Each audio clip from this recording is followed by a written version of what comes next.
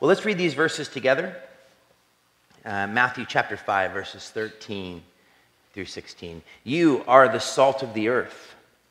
But if the salt loses its saltiness, how can it be made salty again? It is no longer good for anything except to be thrown out and trampled underfoot. You are the light of the world. A town built on a hill cannot be hidden. Neither do people light a lamp or put it under a bowl. Instead, they put it on its stand and it gives light to everyone in the house. In the same way, let your light shine before others that they may see your good deeds and glorify your Father in heaven. Let's pray. Lord Jesus, we do pray that you would help us to understand our uh, position uh, in you. Lord, you tell us what we are before you tell us what to do. And because of our transformation uh, that has come about through our faith in you, through the drawing of your Spirit, through the salvation that was obtained not by anything we did, but by everything you did on our behalf uh, we have been drawn into a new life, but also new purpose, new meaning. And Lord, I pray for each of us here that we would have our minds shaped not by the age in which we live, but that our minds would be shaped by your scriptures. More importantly, by your lordship. Uh, for you are the author of the scriptures. And we pray, Jesus, that we would recognize as children of your kingdom that being a part of your kingdom means that we are under your rule. And I pray that we would see that you save us, not that we would be born into some kind of personal, self centered vacuum, but you save us into a family. And you call us to be witnesses uh, to your truth and your reality. For Lord, the world is lost and broken and hurting, as many are even here tonight. And I pray, Jesus, that you who come to set us free um, would do that very thing tonight. And may your beauty shine forth, and may we be transformed by it. Um, Holy Spirit, we invite you to teach us and bring to remembrance all that Jesus has said. We pray these things in his name. Amen. Good to see all of you. Uh, I have not been in the pulpit over the last three weeks uh, due to, uh, just so you guys know, personally, as we talk about salt and light, you know, this is not an address to individuals, this is an address to communities. That we as a community are the salt and the, and the light of the earth, which means that we, in order to witness to Jesus well, begins with how well we care for one another.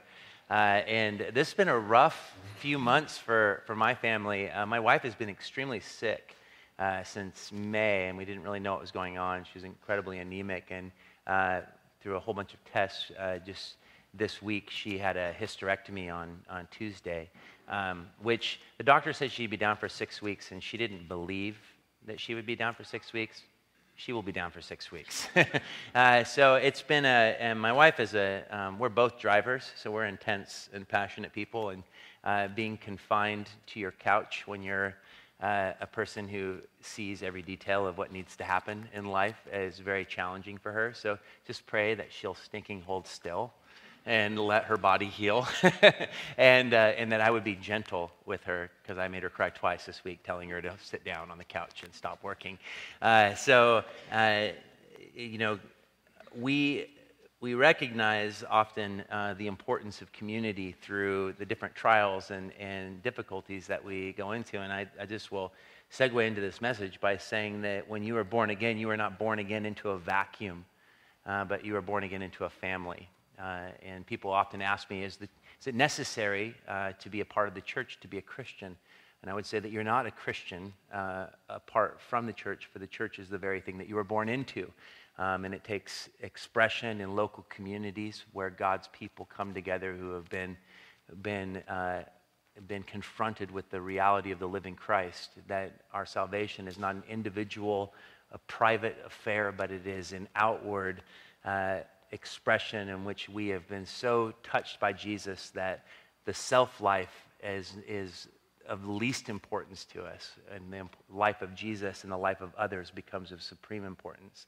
Um, and that is expressed and accomplished through the church. And so, looking at these passages, uh, you know, it's, it's funny. It's one of those passages that it's so concise and so clear that we often overlook uh, what is being said. And Jesus is basically declaring to his disciples that those who are blessed, those who are blessed who have recognized their need, who have been confronted with the living Christ, Jesus is, is, is the king who's revealing the kingdom. He says, The kingdom has come near, um, it's come upon us, uh, it, is, it, is, it is here, but it is coming in full. And we are, who have recognized the king, um, and who are a, a, a, peculiar people that have been radically transformed by our faith in his life and death and resurrection, um, have now come under his rule. And coming under his rule, we are given this incredible commission uh, to, uh, to partner with him uh, in declaring the truth of who he is um, in both word and deed. And when we read these words, we often, because we've been so permeated with an individualistic uh, culture, we read them as if they're written just to you alone. You are the light of the world, like you are. And when he's saying this, he's saying, You all, you who are my disciples, you, the community, you, the church, are the salt of the earth. You are the light of the world. And so I want us to see what is being stated in this because there are two major dangers that approach us um, in the age in which we live. And there are two things that are directly opposed to what Christ has come to accomplish in his world through his church. And that is the danger, first of all, of assimilation. The danger of looking more like the world rather than being salt and light in the world the danger of actually viewing Christianity and Christ through the lens of culture rather than looking at culture through the lens of Christ. The danger of actually having little to no impact upon the city in which we have been called uh, to be salt and light in uh, because of our likeness to the very culture which we have been called out of. As a unique and peculiar people, Salt, if it means anything, it means that it is distinct, and yet it brings it, it brings uh, it brings a protection against decay as well as flavor to whatever it touches. Uh, and if it isn't doing those two things, it's useless, is essentially the word of Jesus.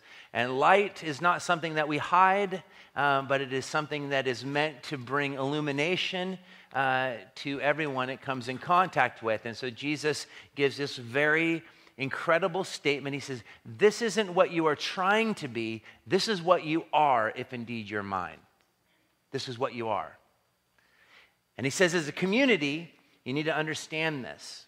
This is a communal address. And I think it's important to once again remind you that the church is a community that exists under Jesus in freedom for the world. We exist under Jesus in freedom. The gospel sets us free to live no longer for ourselves, for that was enslavement, but to live freely for the world, which God gave his only son for. And so we look at this and we see that, this, that, that, that God calls us to live in freedom for the world and sends us out into it because in Jesus we see that God is not just involved with the suffering of the world, but literally in Jesus he has become fully identified with that suffering. That his sympathy isn't just that he feels sorry for us, but he's actually willing to get involved, to get his own hands dirty, if you will. And he calls us to enter into that active and experimental knowledge, that the church becomes a witness to the truth of God's direct and deep, abiding concern for humanity um, by us being a witness to that through word and through deed. And in, it is in doing that that we truly are salt and light. This is a communal address. But secondly, I want you to notice that it's about identity. It, it answers the why um, of Christianity, it answers the why of salvation. It's not about, it's not about you trying to be something, it addresses what you are in Jesus. You are. This is emphatic. It's not you ought to be. I think one of the great reasons that, uh, that brings so much discouragement to the Christian life is that we are constantly attempting in our own effort to be something that we can only be in Christ. That we aren't working toward victory, but we are working from it. And if we don't understand our position, that it all begins with grace.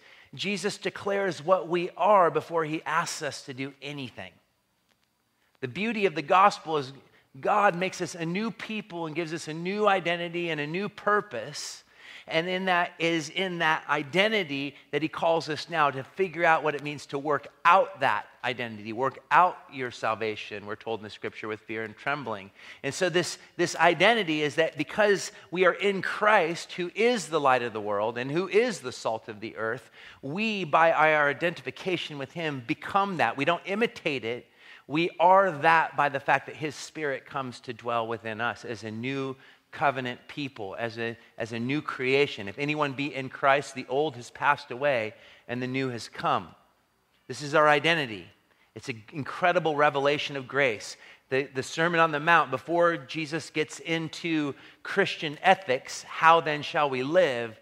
He first of all says, This is what you are because of what I have done on your behalf. I think it's one of the great challenges that we're constantly trying to figure out how to become what we should be. But Jesus says, no, you need to learn to become what you already are. I think that that's a great challenge for the Christian life because we do not understand our identity in Jesus. And then I think finally, this, this passage is not only opens up for us uh, our community, our identity, but it opens up for us our, our mission. And the warnings that follow the declaration, the blessing, remind us that there is a real danger in our ability to not become what we are. Because the gospel, if it's a gospel of freedom, means that he sets us free, and to be free means that we now are responsible for being what he has declared us to be in himself. And this is, you know, this it becomes this paradoxical reality. God has done everything on our behalf through Jesus.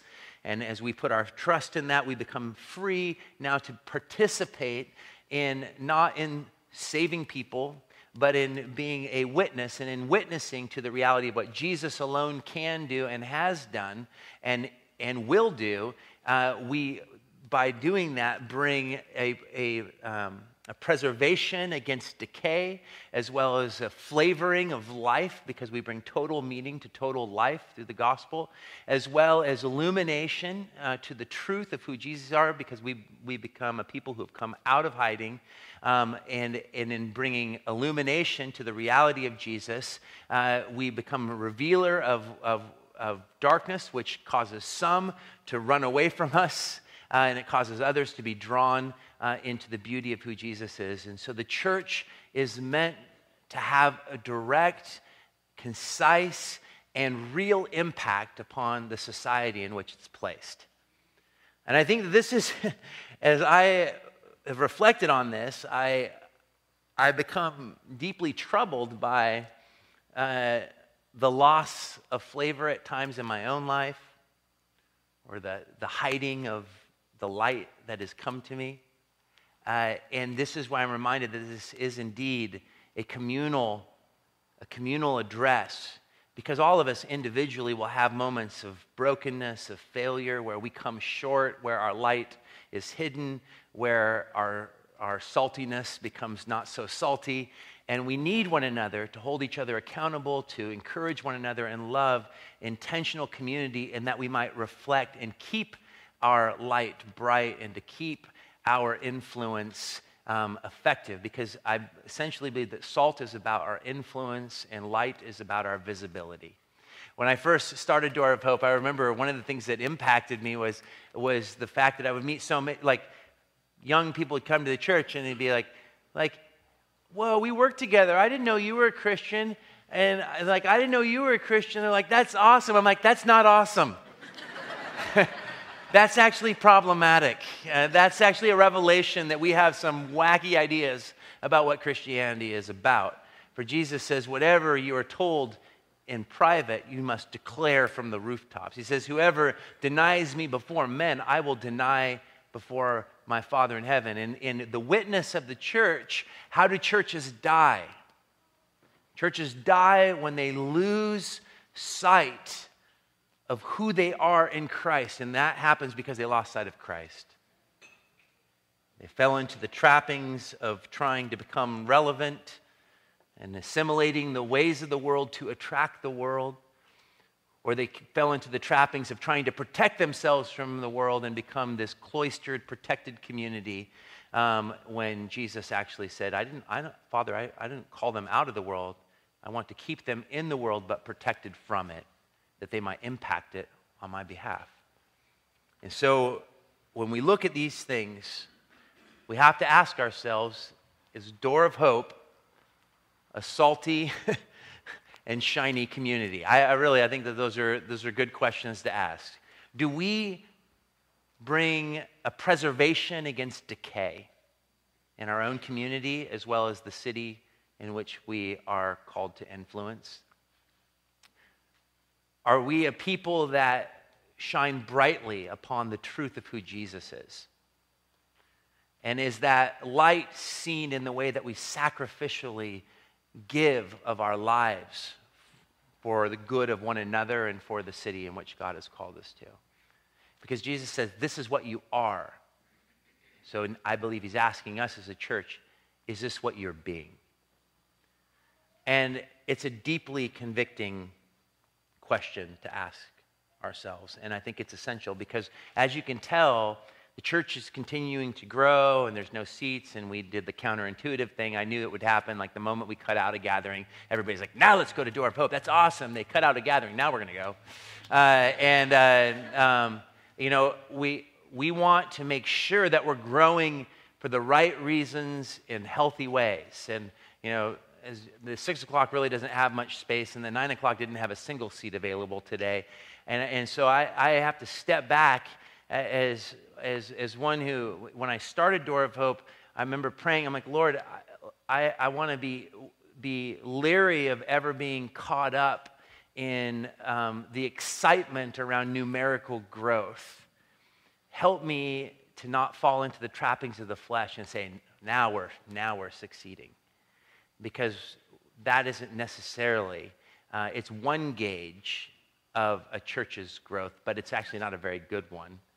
A much better gauge is are we truly being salt and are we being light? And it begins here. Are we being that to one another? And then actually, does Portland even know we exist and do they care? Um, I don't care if the room's full if we aren't actually being salty and being light. Uh, and so let's ask the question then what does it mean when Jesus says you are the salt of the earth? What does he mean by that? In when he says in Matthew, in Matthew 5 13, he says, You are the salt of the earth, but if the salt loses its saltiness, how can it be made salty again? It's no longer good for anything. I think that's interesting. He doesn't just stop there. He's like, You become useless. He actually says, Not only do you become useless, but you are thrown out. The only thing you're good for is to be thrown out and trampled underfoot. You're like, Man, it just it seems like you could have just stopped with useless, hurt, hurt enough. But you're like you, you, had to take it that extra you know just take the knife and twist it. But i think let's let's begin with what, what does salt actually do? Salt's been being used by by humanity for over 6000 years. Um, for two i actually figured out three real uses for salt. Uh, salt uh, preserves uh, it, it, keeps food from perishing it's been used as, as a preservative against uh, as a way of keeping food uh, from going bad, from spoiling. Uh, it's also been always used to flavor things. Salt, people like salt in their food.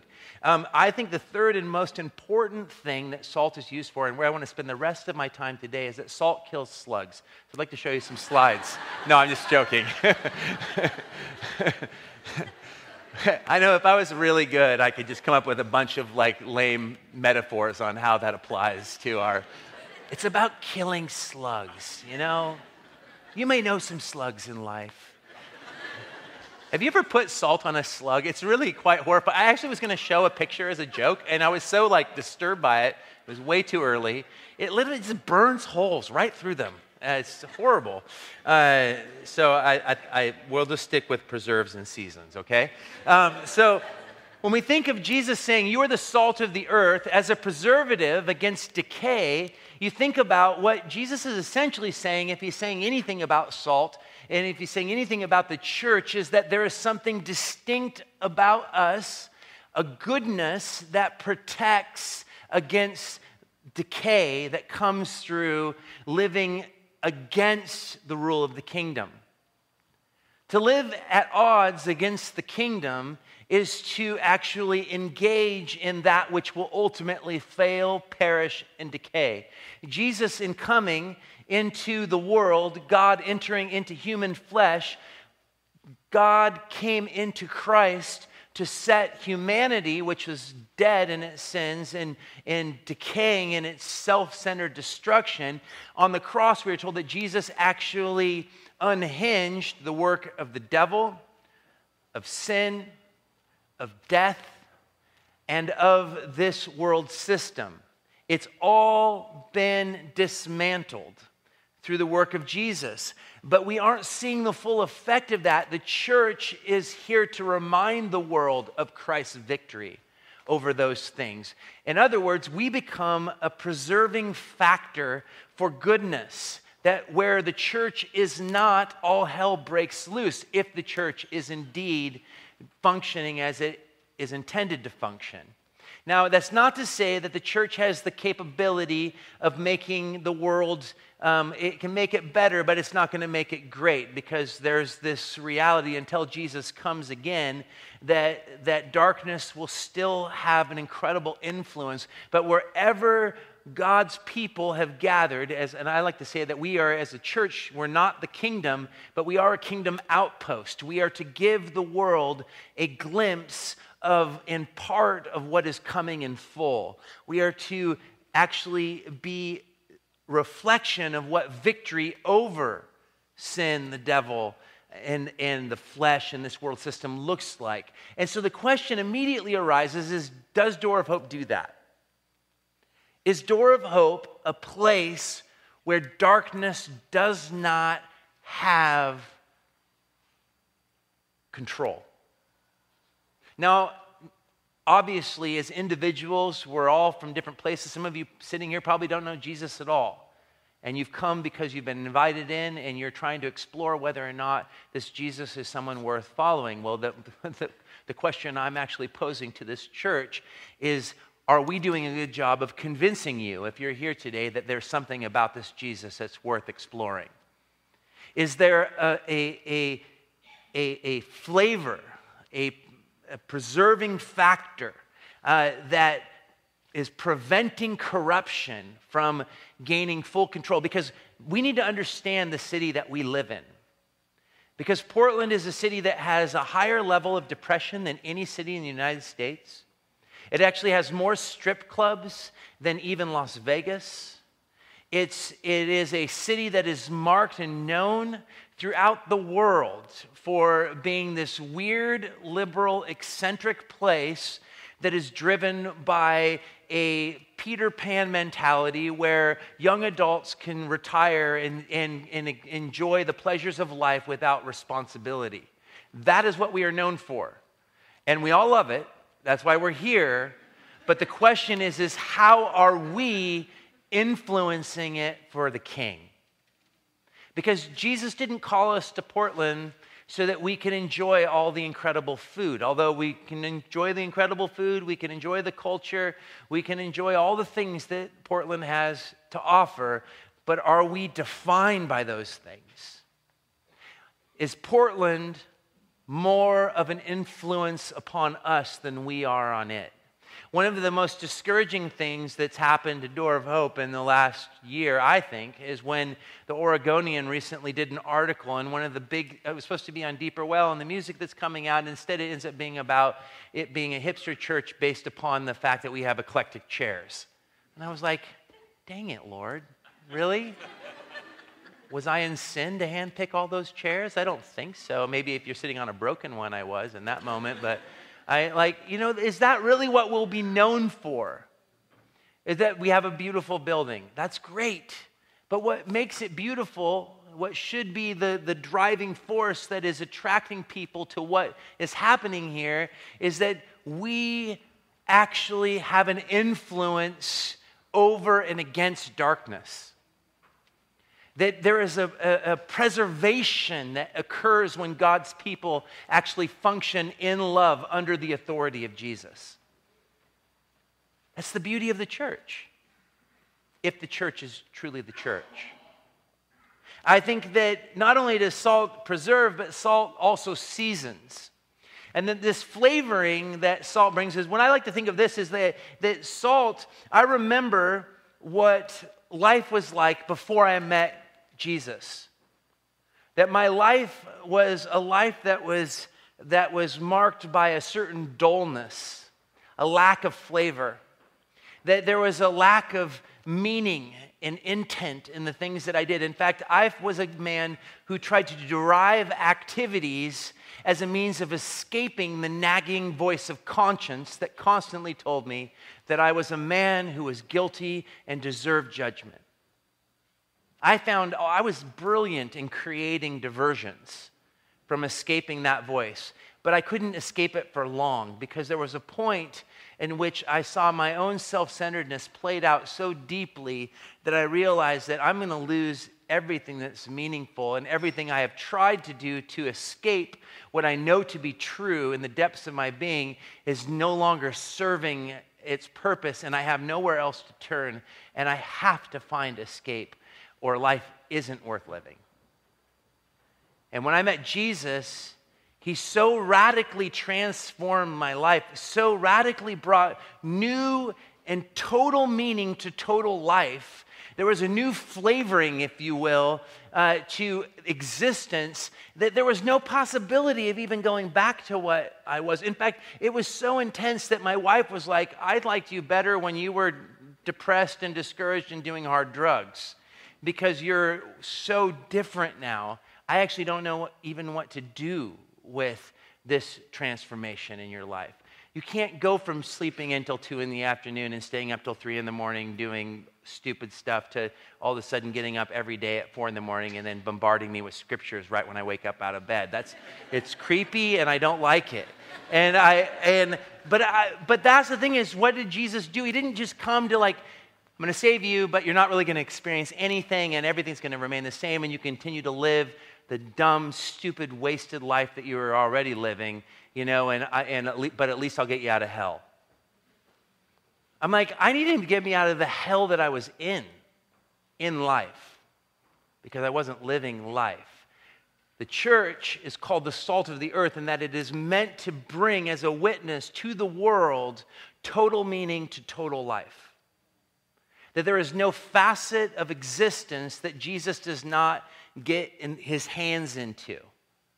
That he can bring robust meaning and value to every single aspect of your existence. He can give you a new lens by which to look at your work, your future, your spouse, your children, your boyfriend, your girlfriend, your community, your city. He gives us a whole new way of viewing reality. And if there's no new view and no new lens and a continued dullness and a lack of excitement and wonder and amazement that you who are dead are now alive in Christ, then you should ask yourself, Am I really alive in Christ? Because the salvation that comes through Christ was never meant to save us for personal and private purposes. In fact, the evidence that you have been personally and privately radically transformed by Jesus is that you no longer care about what is best for you and care more supremely about what is best for Jesus and his world. And as a community of faith, we have to ask ourselves do we bring that kind of flavor to Portland, Oregon? Do we bring that kind of flavor to one another? Because if it doesn't happen here, it's not going to happen out there. I always say that as, as Christians, if you truly experience grace, you have no right to be bored. That life is too meaningful, even when it's hard, to be bored. I think that flavor, I think of, I almost think of like bringing just color into something. It's like, it's just bringing this zest. And Jesus says that this is what you are, church, is you are to be a witness to a whole new reality. Uh, uh, you become a force of good that preserves the world against darkness having full control because you are reminding the world that I have overcome darkness. You are to bring flavor to the world in that you bring now total meaning to total life through your witness to my kingdom, through your obedience to who I am as king, both in word and in deed. And this is what's fascinating is that Jesus says if we don't do that, that we can lose our saltiness. Now, this is one of those things I've never troubled by by apparent contradictions in scripture. I never come across them and go, you know, there's something wrong with the scripture. I'm pretty much convinced every time I come across what I would consider an apparent contradiction in Scripture that there's something totally wrong with my understanding. That's generally how I approach it. I, I trust Jesus more than I trust my own faulty, you know, drug recovered brain, okay? Every time. I'm like, anytime I think I'm right and he's wrong, there's a deep problem and I'm gonna pay for it deeply.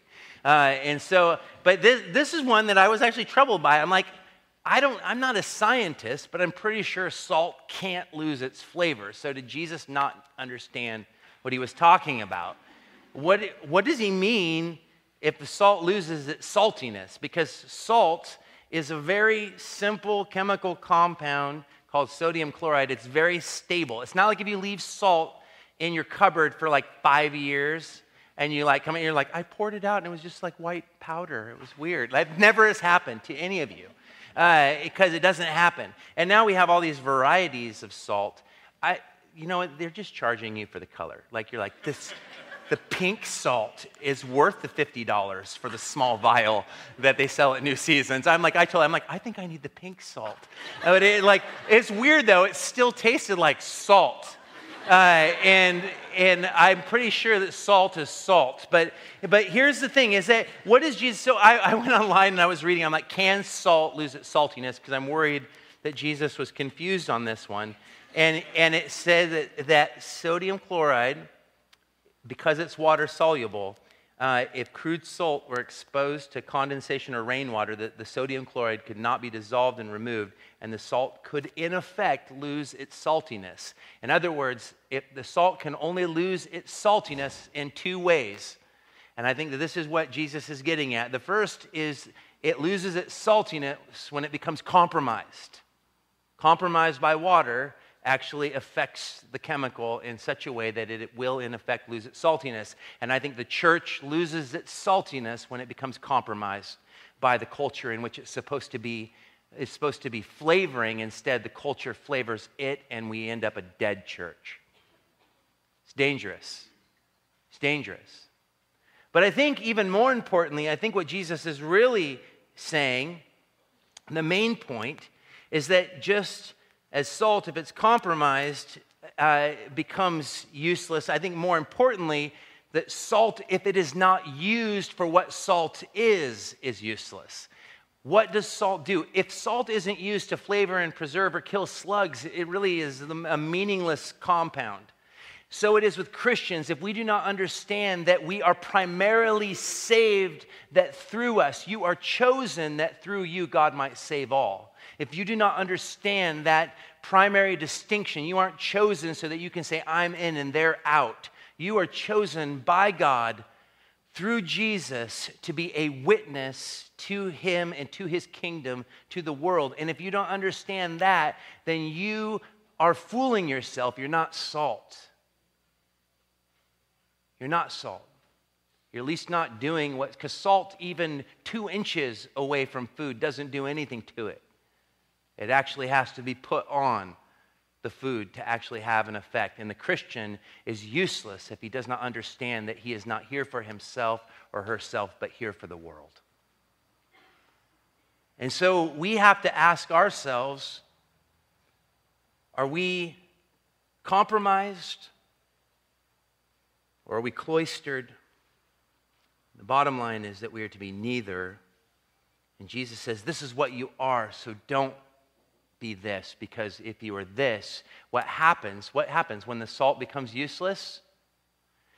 We become trampled underfoot. And I think what he means by that is that the church, why would we be trampled underfoot?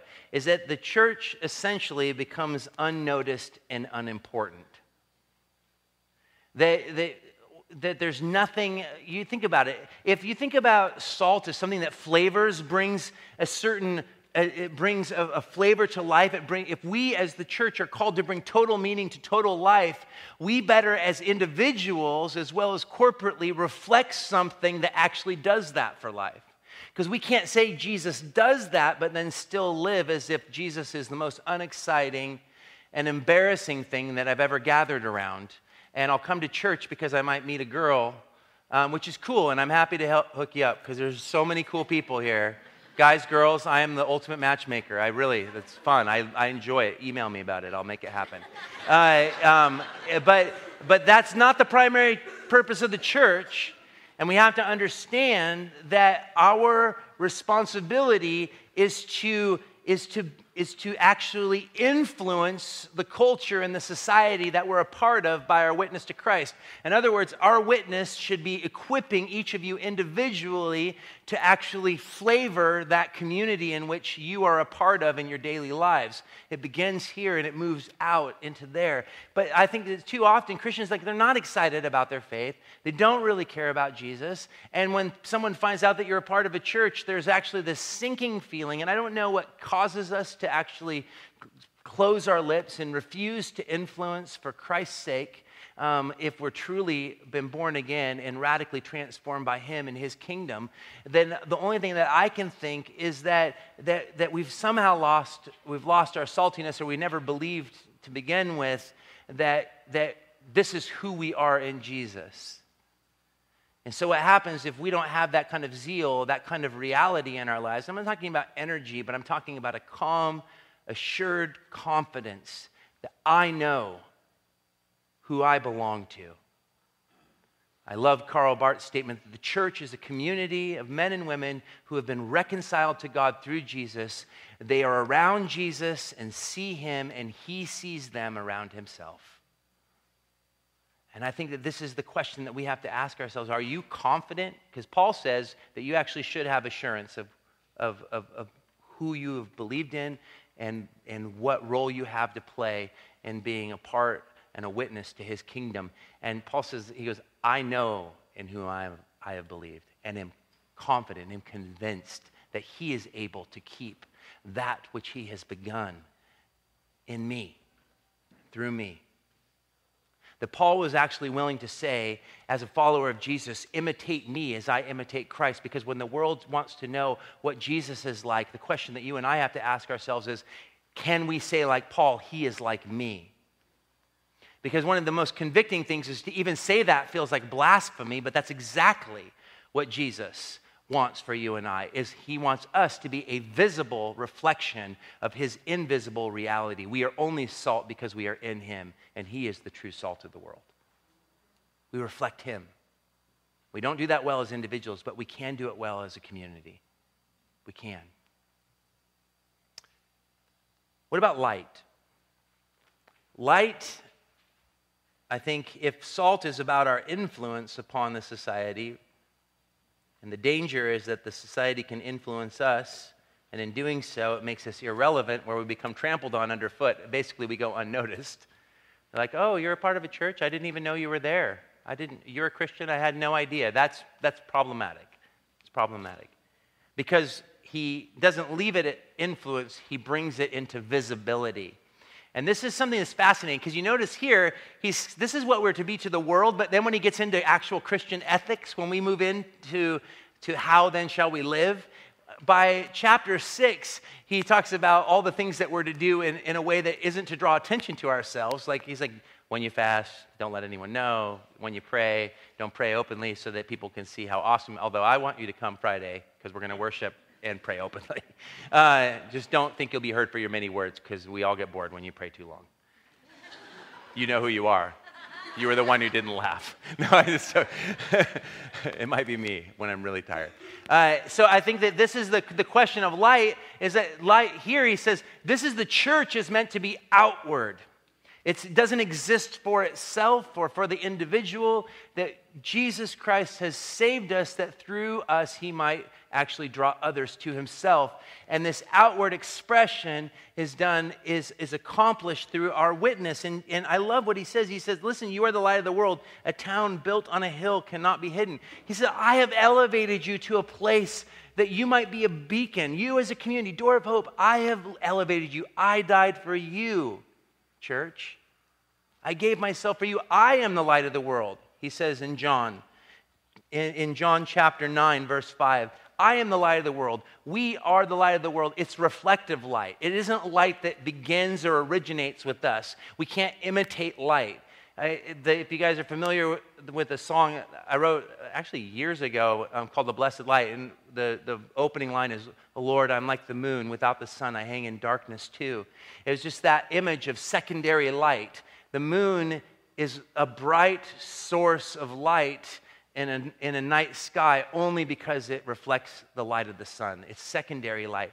We are only as bright as Christ's reflection off of us, which means that the responsibility that we have as individuals is to keep ourselves perpetually before in an intimate union with Jesus, not for the sake of private relationship, but for the sake of being energized in such a way that we can actually illuminate the reality of him to the world. You remember Moses in discussing with God face to face his people and his plans, his redemptive history. When he comes down off the mountain, the children of Israel were terrified because the face of Moses literally radiated with the very light of God.